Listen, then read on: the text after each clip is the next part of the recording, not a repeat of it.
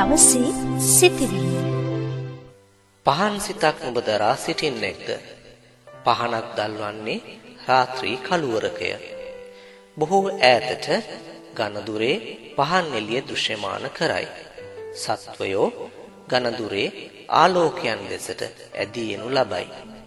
ඝනදුරු ලෝකයට ආලෝකයේ බෙදෙන පහනක් මෙන් ආලෝකයක් ආරක්ෂාවක් පිහිටක් රැකවරණයක් සරණ සොයා පැමිණෙන සත්වයන්ට නුඹේ හදවතින් සැමට සමානව බෙදා දිය හැකිනම් නුඹත් පහන් සිතක් දරා සිටින ඝන අන්ධකාරී දැල්වුණු පහනකට සමානවන සිතක් ඇත්තකු වන්නේය.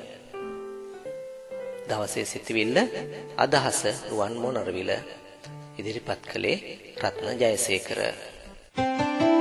දවසේ සිටිවිලි